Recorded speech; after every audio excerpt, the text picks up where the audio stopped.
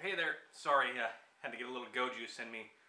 Newborn baby keeps things pretty interesting. Got to stay energized. But anyways, I'm Zach. I own and operate a little KitchenAid mixer repair service called Mr. Mixer. Uh, the goal of these videos is to provide you guys with value and teach you how to repair these machines yourself. Now, you say, Zach, uh, if you own a business fixing these things, why would you have? Why would you teach people how to do it? Wouldn't that hurt you? Uh, no, there's always going to be people out there like you. Good for you, do-it-yourselfer. That's awesome. I want to be the person teaching you how to do this. There are some good videos out there. Unfortunately, I believe that I can do better. I can show you how, when, and why to repair these machines instead of just, this is how you replace this part. We're going to keep things interesting, and uh, we're going to keep these machines running forever.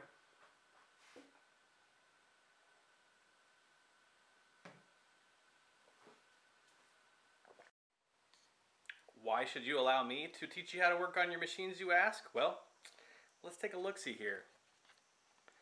Now, I actually repair, probably repaired thousands of these things. This is just kind of uh, a couple weeks worth that I've been working on here. But uh, yeah, I know these machines like the back of my hand. I've been repairing them for years. Um, I'm probably actually the foremost expert on these machines. Not to brag because I am I'm very humble. I'm actually proud of what I do. That's why I mention that. If you're going to do something, try and be the best at it, right?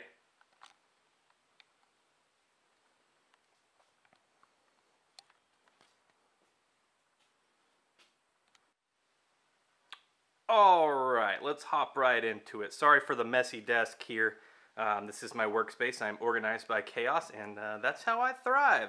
So what we got is the Professional 5 Plus. Now this is going to be, as far as the internals in this machine, are going to be the exact same as the um, 550 HD, the 600 Pro HD, uh, and also the Professional 5 HD because they do have a Professional 5 Plus and a Professional 5 HD. Uh, basically, the only difference between those is uh, like the 600 is a 6 quart bowl size versus the 5 on this, and their motor sizes are just a little bit different.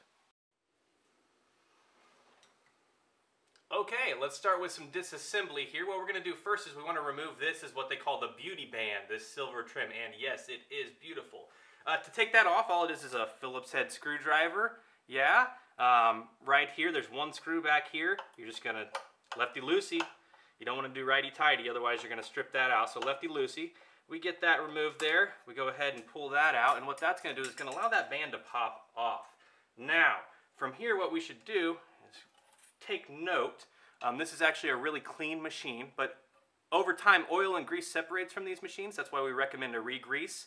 Um, we'll have some other videos up for that shortly, but you'll notice oil and grease just lining the insides of this band where it leaks out of the machine and, and connects to this band. So that's one thing you want to look for when you're taking it apart. Um, make sure you clean it, just wipe it down with a rag, and you should be golden there. Now the next thing that we're going to do is we want to remove these screws on the side here to remove the upper housing. This whole top half here is called the upper housing. Um, there's four screws, one here, one here, and they're going to be the same on each side. So let's go ahead and get that done. We just go ahead and give it a little screw here, and away we go. Okay, now that we have all the screws removed, you can take note, I placed them here at the bottom of where the bowl kind of sits. It's just a good concave area to keep everything in line there. Um, at the end, what we do is, you know, we'll wipe that down anyway, so if there's any, you know, dirt, grease, debris, or anything, it'll get cleaned up. Um, so now we just can go ahead and pull the top of the casing off. It just comes right off, okay? That's what it looks like, all said and done.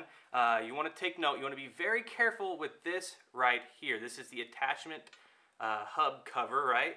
So this is just pressed into place. If you apply too much pressure here, you could actually strip this out, pop this out, and then even if you get a new one, it won't want to sit in place, and you would actually have to replace this entire top part uh, to get that to look pretty again. So um, it does have some durability, right? It's not just going to fall right off, but just be careful with it when you set it down.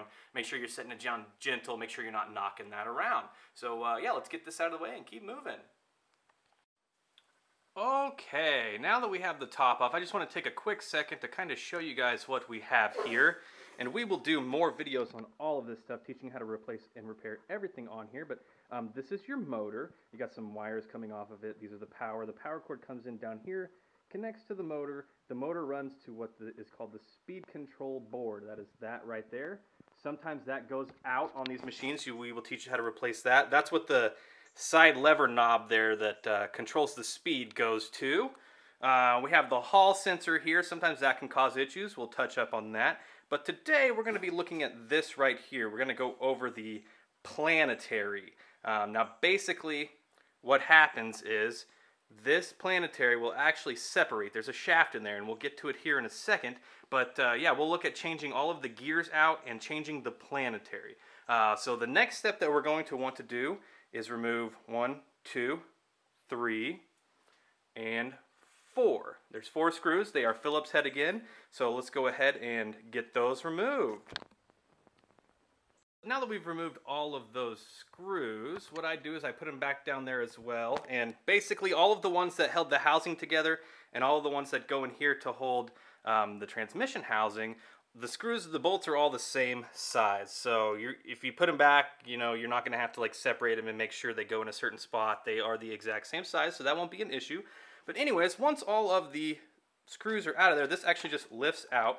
Um, I like to turn it a little bit as I'm pulling to keep it from hitting that speed control because you can actually break the uh, clips on that. So anyways, we're pulled out and there's a gear there. And then in the upper housing that we removed, there is another gear there.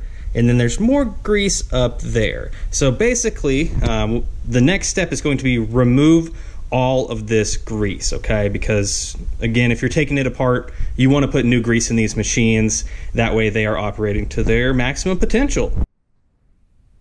The tools for the job that we're going to be using today is a pair of split ring pliers. If you haven't seen these before, um, that's what they are. They help to remove a split ring. I'll show you when we get there. You need a Phillips head screwdriver, a rubber mallet, and a couple flathead screwdrivers, and I will show you why here in just a second. All right, folks, this is where the job starts to get a little bit dirty. I mean, I know I already showed you some of this grease, but let's go, let's start with the removal of the grease. I recommend grabbing a handy dandy roll of paper towels here. I'm not particular on brand. Whatever you have around the house will work great. So, first step is to take a paper towel and I kind of wrap it around this shaft here. You want to get as much of this goop off as you can in, uh, in one pull here. So we're just going to go like that. We're going to pull that up and uh, see see how much we removed there. Look look down here. We got a big old pile of grease. Um, you can save this to wipe some more grease later, uh, or you can just throw it away. I'm going to throw it away for now. Um, I recommend also you have a towel of some kind or a paper towel or something to set some of the gears on as we start the removal process. One thing I forgot to mention is it might be a good idea to have a little uh, little putty knife. Not a huge deal. I recommend a plastic one if you're going to get one. This can be done without it. Um, it is dirty. If you want some gloves as well, I don't mind getting my hands dirty. But if you are a person that doesn't like to get grease on your hands, probably get a pair of rubber gloves. But um, from here, what we're going to start doing is we're just going to start removing portions of this grease, right? And we're just going to get as much out of there as we can uh, without removing anything yet. Uh, so we'll just do a couple scoops here, see what we can get out of there. And again, I recommend just having a paper towel on the side, wipe this off, and then wash, rinse, repeat. Okay, now that we got a fair portion of that grease out of there, what we're going to do is we're going to remove what we call the worm gear and this just pulls right out. It's actually a floating gear. Um, it's held in place by these little bearings here on the end, these little brass things. You kind of see how they're flat on the sides. They fit in into little channels right there. So when you go to replace it, it literally just drops down in there like so. So just pull that out and go ahead and set that over on your paper towel out of the way. All right. Now, if you would like, now that the worm gear's out of the way, if you'd like, you can do a little bit more, uh, kind of getting some of the grease around off these sides because we are going to be pulling these gears. So it doesn't have to be, again, these don't have to be super clean yet. You just kind of want to get whatever you can to prevent you from making a big fat mess there. So just get that a little bit more cleaned up. I would also recommend one more kind of wrap around the sh planetary shaft there and kind of clean that up one more time here. because now we're about to pull these gears. All right, let's get to it. Okay, had to put the chest mount on because it's literally impossible to do this with one hand. Sometimes it's a little difficult to do with two even, but I have faith in you guys and I'm gonna show you how to do it. We'll get it knocked out. So again, you wanna get those little nubbins right in there. You wanna apply some pressure. You can kind of see the ring flexing a little bit as I do that. It's gonna open it up a bit. What I like to do is just pop a screwdriver in right back there and just help it get right over that lip. Okay, because I'll show you here in a second. There's a little channel in there. And then from there, what I like to do, once we're out, we can start to just apply a little bit of pressure. You want to make sure not to bend this ring. It is pretty hardy, but uh, we just want to start applying a little pressure and going around and just kind of prying it up just a smidge. And I'll show you why, because it's going to make it a lot easier to get that ring off of there here in a second. Um, I would keep pressure on the left side that you already had lifted while you're working your way around, or it will pop back down into that channel and you will have to restart again. Now, once you have both out of the channel, you can kind of come on both sides like this and just pry up just a little bit here. We're going to get those up just a smidge. Okay, now that we have those up and out of the way. Let's see if you can see. Right down there, there's a little channel. We'll see once we get the grease cleaned off. But now that we're up and out of that, now we can go ahead and come from the underside with our split ring pliers here. And it makes it a lot easier. They're going to clip right into there now. And you can use a paper towel, use whatever. Um, be careful, because once we get up to the top here, this thing is going to want to shoot off. So again, this is how I like to do it. I'll take a paper towel, I'll wrap around the side like that, and I'll pull up on the paper towel. I'll grab the back side of that ring, and I will pull up as I'm separating this ring here. And you can see it just starts sliding off. Eventually we get it up to the close to the top. Once you get it close to the top, I like to actually come all the way over the top because like I said, um, I've had these actually go flying across the room and they're really hard to find. So yeah, just there we go. So here is a closer look at that, what we have. This is called the split ring there. So now that that's off, we can go ahead and set it back down with the rest of our stuff and move on to the next step. All right, the next step in our process is going to be removal of the bevel gear. Okay, so what we're gonna do is uh, get you uh, your flathead screwdriver again. And so there is a gear here, the bevel gear, and then underneath it is the worm follower gear, right? So what we're gonna do is in between those, there's just a little gap. You just kind of wanna wiggle this screwdriver in here. Let's see if we can find a good spot for it. You might have to get your hand a little dirty. There we go. See, we get in and we just start kind of twisting, applying a little bit of upwards pressure and you'll see it start to break loose. Sometimes it can be a little tighter than usual, guys. Um, sometimes you have to work at it a little bit, but it will come off. Just apply apply some pressure, work it around. Sometimes you have to get two screwdrivers and, um, you know, pry from both sides to make it a little easier, but uh, it should come right off. Now that we have the bevel gear removed, we'll go ahead and place it back down, you know, with the rest of our gears there. Um, you can clean off your fingers, whatever you want. They're going to be constantly dirty, so don't fret too much. Next thing we're going to want to do is removal of this roll pin right here. And it's like you don't need a special punch for this one. Um, it slides in and out real easily. So what we're going to want to do is just see if we can grab it here. And you just kind of pull on it. Super easy.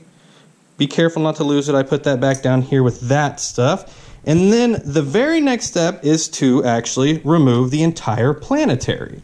Um, so if your gears were bad, if your machine was like running but the the paddle wasn't spinning or it was grinding real bad, this is generally going to be the gear that you have to remove to get to that. So um, that's nice. That's just an extra step. But today we're more focusing on this actual planetary shaft here. So this shaft is actually pressed into this lower shaft here. Okay. Now what happens is that'll actually separate, and um, there's really no way to get it back together. Um, it just gets worn. It happens on occasion and you have to replace. So this is where the rubber mallet comes in. Now that make sure you have that pin out before you do this because you don't want to start banging on it with that pin. But now we're just going to apply some light taps, guys. Okay, tap, tap, taparoo, and it'll slide right out, just like so. Here's a quick side-by-side comparison of why we're actually changing this out. This is what I was talking about here. Here is the planetary shaft that runs up and has the gear sitting on it.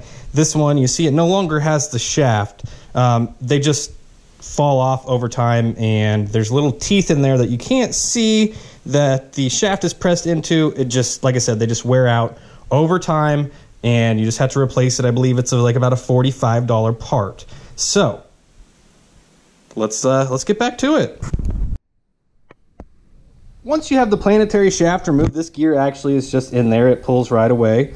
Um, this is what it looks like here. Um, we want to take note. We're going to get them cleaned up real quick, but we're actually going to inspect these gears. I'm going to show you what to look for just in case we need to replace these bad boys. It's always a good idea if you notice a lot of wear to replace them while you already have it apart. Otherwise, you're going to be doing this whole process over again. You'll have to re-grease it because you'll get metal shards and whatnot in your gearbox. So it's always a good idea if you find damage to replace at the time it's apart. This is what the gearbox looks like once you have all of the gears and the shaft removed. We're going to be playing in the mud again. You can see all of this uh, grease right here and up here. We're going to want to clean this gearbox out. It doesn't have to be spotless, but you do want to get a majority of the grease out of here, and we'll show you what it looks like when it's done. Um, also, take note, I don't know if you can tell, you can see a little bit of silver shiny stuff right there. That is actually, uh, you know, little pieces of the gear, little shavings of metal that have worn themselves off. Uh, and this is just normal wear, guys. It happens over time. But if you notice things like that, it is a possibility that uh, you, you will need to replace a gear. So let's just go ahead and get to it and just start scooping this stuff out. And I'll show you how clean it should be once I get to the end of it. Quick tip for you as well, if you do not have, you know, your little putty knife, use a flathead screwdriver and just do some of that, okay? Makes it super easy. All right, we're near the end of her here. This is kind of what it looks like here. It's pretty clean, but last step I like to do to get it extra clean is go ahead and just kind of wipe it out with a paper towel. Um, you know, you're just picking up a little bit of the remainder in there. Make sure that you always want to get up underneath the motor shaft here. There's some stuff that can hide up there. Um, there is a fan in the back you can kind of spin it and it'll actually spin that as well. It's not going to cause any harm. You can see that there's on the underside, there's a little grease there. So we like to get all of that off of there. Be careful because some of these are kind of sharp. So try not to uh, get your finger cut there. Um, if you want to take it a step further, you can kind of weasel your paper towel up underneath there, um, kind of wiggle it out. Just make sure that you don't have any you know remaining pieces of paper towel that got ripped or something that are stuck in there. Don't forget to pull the gear that was right here. It's a little hub gear. Pull that, clean that as well. Make sure that you get all the grease out from in here too. Again, it doesn't have to be super spotless, but you don't want any large chunks up in there. So uh, you can just take a screwdriver, your finger, whatever, just run it around there, get some of that grease out of there. Maybe a paper towel at the end just for the final touch. All right, now we've got the gearbox cleaned out and we got all the gears out, this is kind of where our paths are going to make a little bit of a segue because I have that little blue thing there, a lovely parts washer. It makes this super easy, but it's going to be just as easy for you guys. This is how I used to do it before I did this full time. Uh, what I like to call the old-fashioned way. So what you're going to want to do is get a paper towel. You know, we'll pick up a gear here. Um, we're going to I wanted to say swaddle. I just had a new baby, so that's what's on my mind right now. But we're just going to kind of do this, clean these off here, give it a few wipes, uh, you can tell how much cleaner that is already, right? So the next step that we're going to do is we're going to want to find our Phillips head screwdriver. And what I like to do is I just like to run through these gear teeth, just like this. Um, again, you don't have to get these super clean, but you want to get a majority of the grease in between these out. So you just keep going through them like that, and you'll keep getting, you know, piece after piece. You see that little there? I'll wipe it off, and I'll just keep going. And you'll just want to do this all the way around. Okay, now that we've been all the way around, you know, we got it pretty clean here. Uh, if you're a overachiever or a super neat freak, um, I know I am when it comes to my customers, what I like to do is you can take a towel or a paper towel and rub that in between the teeth as well just to get that extra extra clean um, but not overly necessary the next thing you're going to want to do is actually look at the walls of these gears. Um, this one, I don't know if you can tell, like right there, you'll see start seeing like little half moon indentions in this. This is just wear. Um, if it's only slight, I don't recommend replacing it. But if it looks like a like a fair portion of this material is eaten off, I would stop. I would replace this gear. This is called the Worm gear, and they are the same in the six quart professional, the five plus, you know, everything that I mentioned earlier. So um, they are a standard gear. Uh, wash, rinse, repeat, guys. What we're going to do is we're just going to clean up these next gears here, and uh, once we got them all clean, we'll get back with you. All right, guys, when you get to the worm gear here, you're going to see again I discussed those little bearings here. We're going to remove those and what you're going to find is there's going to be what they call the bearing sleeve, which is this little guy. There's one on each end. Uh, I do want you to take note of the bearing that's actually in here. See, there's a bearing in the middle, and then there's two washers. You see the little channel that runs in that outside one? So they sit in that channel like so, and then there's also a channel on this one, and it, those little balls just sit in the middle of that, and then it goes back onto the shaft. Now take note of this back one, okay, because these are different sizes. You will notice that the, the back one has a little bit of a lip on it right here, dropping stuff. Back one has a little bit of a lip on it to where this one does not have a lip at all. The one that goes with the bearings goes on the front half of the gear up here, and the one that actually has this extra little lip is going to go on the back here. You don't want to mix those up, otherwise that gear's not going to sit in there properly.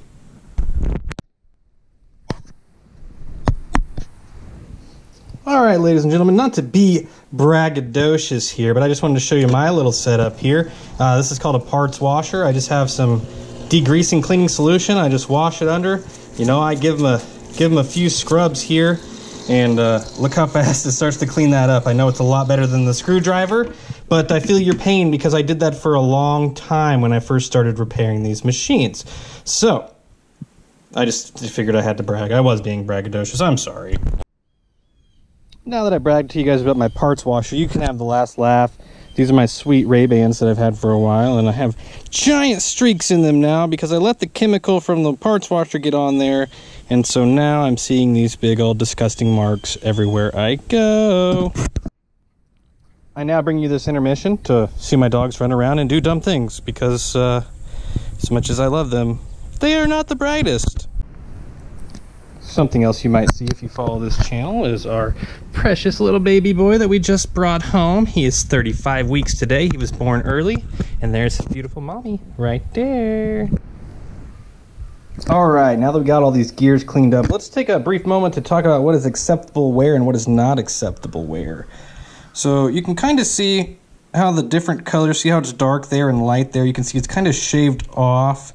Uh, these still have most of their durability. You can definitely tell there's a little bit of wear, but these will actually start to warp and start to concave, and that's when you know that they're going to need to be replaced. Um, if you have more wear than this one, probably go ahead and replace it. This is called the bevel gear. Uh, if you don't, these teeth can actually snap off and get sent around the gearbox and damage some of the gears.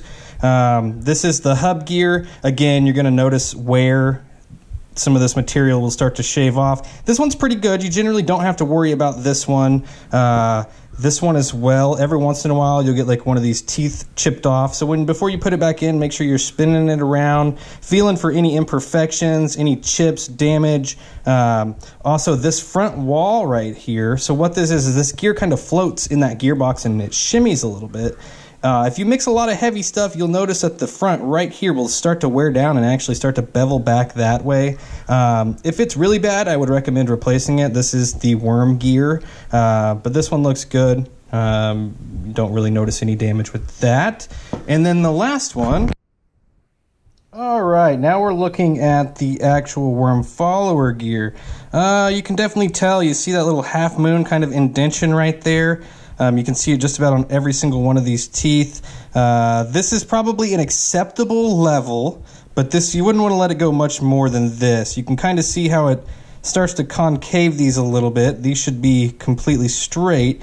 So it's shaving off some of that there. Um, if yours is damaged any more than this, I recommend replacing. This is the worm follower gear. Uh, again, they are standard in the 5 HD, 5 Plus, 6 Pro. Um, all of these are going to be the same, so just type that into the old Google and you'll find her. All right, now that we got everything cleaned up, we're ready to start putting it back together. Before we start putting any grease in there, though, I want to take note. This is called the planetary bearing here, bearing sleeve. It slits down into there, it slides right in. Uh, you want to take a look at the inside of this wall down. If you see any major, like scarring or big, uh, you know, gouges in there or anything like that, we probably want to replace that. Also, if it's super loose right here, uh, might want to replace that as well. Another issue that I've seen with these machines, if you get to this point, up here, it actually starts to crack around this casing here and this whole piece comes loose. Uh, if that is the case, uh, we will have to actually replace this entire lower housing. So we would have to take the motor, the speed control, and everything out and put a new one in there. Um, it's about a $50 part or so. Uh, we will make some more videos here in the future. If you guys have that issue, we'll make sure to kind of teach you how to take care of it. So let's get this thing put back together. All right, now that we got everything cleaned up and we're ready to go back together, this is the grease that we're going to be using. It is a white multi-purpose NSF H1 food safe grease. Make sure you are using food safe grease with these machines.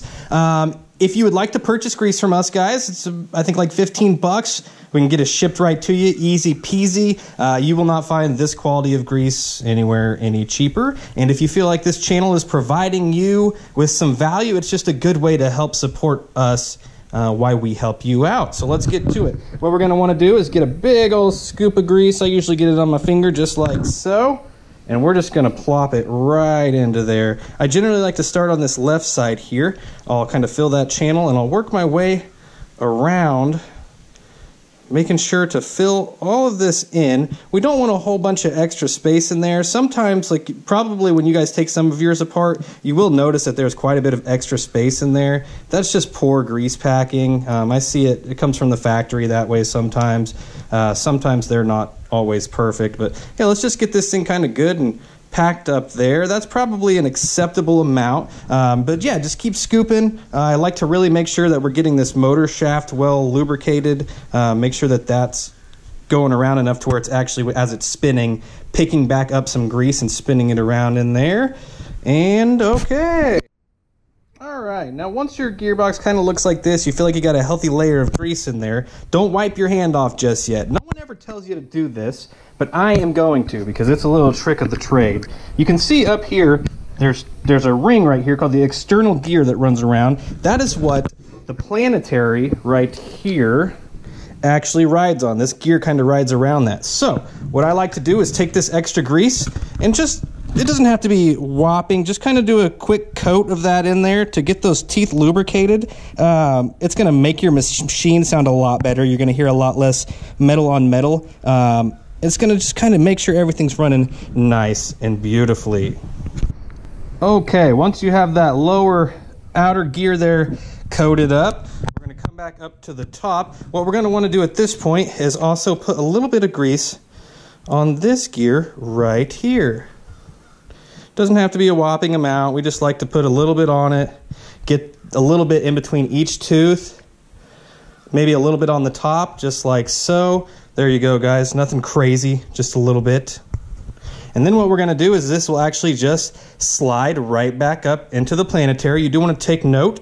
Make sure that your little washer's there because you do need that. Sometimes it will stick up here where it, um, it actually came out of. There'll be a little um, I guess, ring that it sits on. It'll stick up there. So uh, if you don't see it on here, that's likely where it is. So let's go ahead and get this on there. It's just going to slide right back up into there. It just pushes up. Now once you get to this point, you're going to notice that that gear sits there. You're just going to want to kind of rotate it a little bit until it gets in line. There we go. You see it kind of popped up into there. Now at this point, we can go ahead and put our first gear back on. This is the worm follower gear, right? So all we're gonna do is put it right over the top, just like so. Um, I like to grab it with both sides like this, hold that in place, and then with my thumbs, I'll press it down into place. Now sometimes, guys, this can be a little bit of a task. It can be a little tight. Uh, if you want to lube this shaft up, maybe lube that up a little bit, it'll help it slide better. If it's really tight, you can kind of take your rubber mallet and just barely tap on it, see if you can get it to go down. That will usually help take care of the issue. Once that gear's in place, now we want to get that little pin. Remember, we set it back down. This is where we, we pulled it out from this shaft here. You can tell that there is a hole for it right there. And so what we're going to do is we're just going to slide it through there, just like so. And now it is held into place. You no longer have to hold this. Um, it is good. It will not move at this point. So then we can move over to our bevel gear here. Now I went ahead and pre-lubed this shaft so it sits a little bit easier in there. Um, before we put that on though, what I like to do is add a little bit more grease. So let's dig back into our pail here. Um, I like to just really make sure that I get all of this coated nice and good, okay? So you can rotate this as you go if you really want to get all sides of it there. Um, I do recommend really just getting these just packed with grease. Um, we're going to add more back in as we go. We're just, this is just kind of a little segue, I guess, in between adding more grease. There we go. Now you see this thing starting to look pretty good, pretty packed. Uh, now we can move on to the bevel gear. Now, you noticed before, and I shouldn't have covered this up, but you can see how this particular gear right here, you see how it has this cutout? You see it's kind of uh, straight there, rounded, straight. You want that pin that you put in to line up with the straight sides. You want it to just line up. You want it to be sticking out, that pin sticking out about the same distance on both sides. Because if you turn this over, you can see the little channels where that pin actually slides into. So then we just pop this over the top here, um, kind of wiggle it a little bit. You'll get the feel for it. Um, once you get it on there, you saw how that grease pushed out. That's how you know it fell down into that channel. So now we are in place. Everything is rocking and good to go. We are going to apply more grease to this. Uh, just, yeah, go ahead and put more grease up here. All right, now that we got the worm gear and the, excuse me, the worm follower gear and the bevel gear back in place, we want to go ahead and put this split ring back on, guys. So what we're going to do is uh, we're going to take our split ring pliers again. What I like to do is I just set it on top just like that, okay? Then we're going to go ahead and get your little nubbins in the hole. I apply pressure back here, downward pressure, to hold it in place. And as I open this up, it's going to slide onto there, hopefully. Sometimes these can be a little bit tricky. There we go. Now we got it around, and we'll just put downward pressure and keep spreading it. Um, you see down here, I was telling you, you can kind of see that little channel in there. You will feel it kind of click into place when you have it. There you go. You heard it click. You get it all the way down. It's back in that channel. Um, you can't just pull it up now. See, it's locked into place now. So now we can go ahead and start, uh, you know, finishing up with the re-greasing and putting it back together we got another healthy coating of grease back on there. That's what it should look like. Now it's time to go ahead and put this gear back into place. This is the worm gear. Now remember, I want to emphasize on this. The side with the extra little portion of the sleeve needs to go on the back here. You see how it kind of fits perfect. It's pretty flush with that. Uh, then we're going to go ahead and make sure that your little bearing is back in place. It doesn't matter if this goes this way or this way, as long as the two bearings uh, holders are on the outside and the ball bearing part is in the middle. You want to sandwich that, push that back together, and then the one without the excess part of the sleeve slides on just like that. Um, again, you can see how these are beveled a little bit, right? They're circle and then they have a flat edge, right? They actually fit into this. There's a little channel that they slide down into. So when we go ahead and push it, you want the gear to be closest to the motor. And we're just going to kind of slide it down in there. And you will see it'll slide down in uh, and it'll just fit in there perfectly. And now it is good to be re-greased. All right, now that we got the uh, the gearbox grease there, we're going to go ahead and work on the upper housing. Now yours might be a little different. Your yours might be this aluminum style. Um, these are actually better in my opinion, but some of them come with plastic instead. Uh, this is what the plastic one looks like. This is the aluminum again. They are they're the same. It's not going to be an issue. Um, this is going to apply for both of these. So what we're going to do here is we want to go ahead. We're going to get some more uh, grease on here, and I just kind of go around the sides of this, give it a nice healthy coating all the way around. It doesn't have to be completely globbed full or anything, but yeah.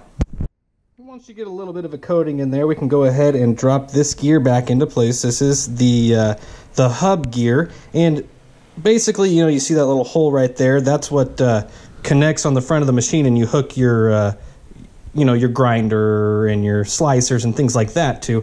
Uh, so what we're gonna do now is this actually just kind of pops down into there. It sits in that little channel. It'll just slide in just like so. And then we want to give that a nice healthy coating as well. So we'll just get a little more grease. Um, it will spin when you just kind of spin it with your finger. It'll spin in there. And, uh, you know, just give it some grease. Make sure that it's coated. You don't want any exposed teeth. Okay, now that we got it all coated, let's go ahead and put it all back together. All right, now we're at the reassembly stage of the machine. Uh, you do want to check and make sure that your little gasket is still on here. It's like a little cardboard gasket.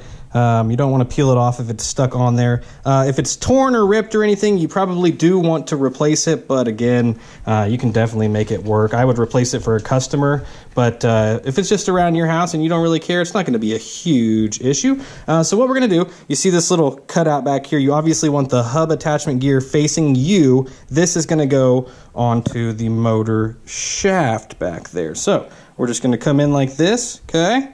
I always come in, I angle it a little bit this way to slide around. That way I'm not getting grease on this here. Um, no one will tell you that, but if you put it on the wrong way, you can definitely get grease all over your electronics. You don't want that. So I'll angle it, and then I'll slowly rotate it back and wiggle it into place. And what it should drop directly down into there, be flush. You shouldn't have any gaps in here. Um, all this should be flush. If you do have a gap, what you want to do is just spin that fan again, guys. Just give it a few little turns and it should drop down into place. If it doesn't, you have something out of alignment just a little bit. And so I would recommend taking this back off, uh, wiggling things around just to get everything into alignment. Um, and then again, yeah, once you get it flush, now it's time to repeat the process same way we took it apart. You're gonna have the four screws, one, two, three, four. So let's go ahead and get those put in. Heed my warning. No other channel is going to tell you this. They don't take the time, they just want to show you how to do it. I want these things to be cared for. I want them to last you forever. If you have the plastic housing,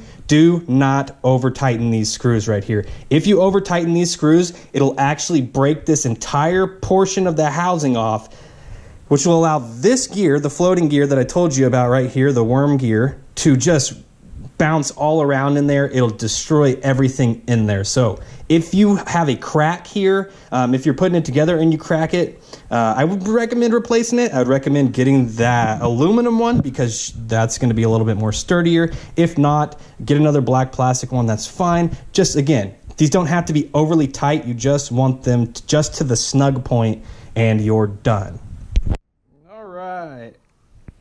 All right, we got three of them in. We're gonna go for the last one. The last one's right there. It's kind of a pain to get in there. Some people say they recommend taking the speed control off. I absolutely do not because you can absolutely break these clips right here really easy. And if you do that, then you're stuck buying a new part. It's about 60 bucks. So do not mess with that unless you're having issues with it. We'll cover that in the near future. What I like to do, there's two different ways. If you have a screwdriver with a magnetic bit that you can drop it down in there, it'd be super easy. If not, what I like to do is just take my two fingers and just, it's hard to see, but just get it down in there to where you get it into the hole and then once it's once you get it into that hole, it'll just sit like that. Uh, then we're going to take our screwdriver.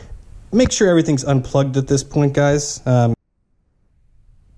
if you notice a little bit of seepage of uh, grease there on the sides, not a huge deal. It's not really going to affect anything. It's not going to move. Uh, if it bothers you, uh, which it bothers me whenever I work on customers' machines, I give these things back to them sparkling like new, but uh, you could just take a paper towel, run it under that lip, clean some of that up off of there. Uh, yeah, just that simple. It's not going to leak out of there. It's not going to get into your food or anything from right there. Not an issue at all. But again, if you're kind of a little bit of a neat freak like me, go ahead and clean that up. All right, the last melon. We are on the last step here. Basically, all we're going to do is put this upper housing right over the top again. It's going to slide right on. Sometimes you got to wiggle it a little bit. Um, you want it to be sitting flush, just like so. Okay, so then we go ahead, we get the rest of our screws here, and we're going to do one, two, three, four. Okay, everyone, we have reached the very last step. We're just going to be reapplying the beauty band back onto this machine. Uh, you can tell how it's kind of channeled right here. All you're going to want to do is slide that in just like that. It'll just kind of pop into place. Um, sometimes you have to wiggle around this to make sure it's sitting just right, but it'll sit flush. And all you want to do is make sure that this is lined up. You can see the screw hole there. And so then, of course, I, I dropped my screw down here. Luckily, it didn't go too far. We're just going to put that in right there. We're going to give it a few turns here. I have seen people over tighten these and strip this out to where the screw no longer holds the beauty band in, in place real tight. So don't over tighten it. Do not use a power tool for this. Do it by hand. And you just want it to be snug, okay? You don't want it to be overly tight. Um, and once it is in there, that completes the end of the re-grease of the Bowl Lift Professional models. Now, if this... Uh, has provided you value, uh, please feel free to donate to the channel. We'd really appreciate it. I'll add a link to PayPal down below. Um, if you would like to order grease from us, please, that's just another way to help us continue making these videos. We intend to do a complete line everything on these bowl raise machines good everything on every single tilt head machine we are going to put out we're also going to put out things on uh, some of the older machines, the 3Cs, the 4Cs, vintage. Um, we got some Hobart machines over there, guys. You see, we're going to do some of these in the future. Uh, also over here, we got this big old 60 quarter as well. We're going to be going through all this stuff, guys. So, and, uh, I hope everyone has a fantastic week.